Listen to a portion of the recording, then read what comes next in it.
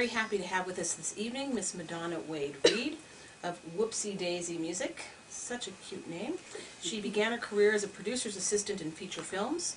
From there, she went on to work as an assistant to a well-known actor and then a successful commercial director. Her love for music led to a career move into music video production and then to the position of head of music video at Spy Productions in Los Angeles. This move offered many great opportunities to help develop directing talent. She then segued into a career in music supervision, first as a partner in Daisy Music and now as owner of Whoopsie Daisy. Madonna's television career has included work on series such as Charlie's Angels, Blue Mountain State, Smallville, Castle, What About Brian, Barbershop, One Tree Hill, Alias, and Felicity, and such films as Fred the Movie, The Perfect Score, My Boss's Daughter, Careless, and A Thousand Words, starring Eddie Murphy and Kerry Washington. Madonna is currently supervising the third season of the Spike TV series Blue Mountain State and Jane by Design for ABC Family. Welcome, Madonna. Thank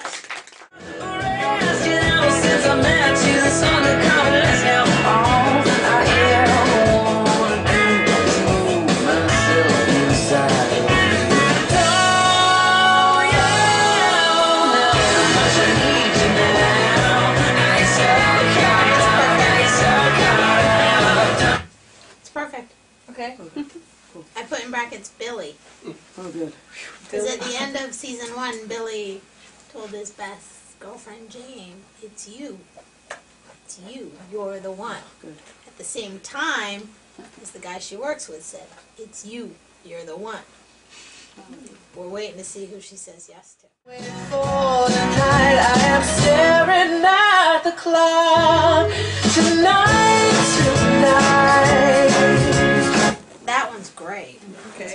Is mm-hmm. like I I get away with what's old is new songs mm-hmm. sometimes, mm-hmm. and I, you know, in everything I do, just because I think that's a direction that music is really moving in.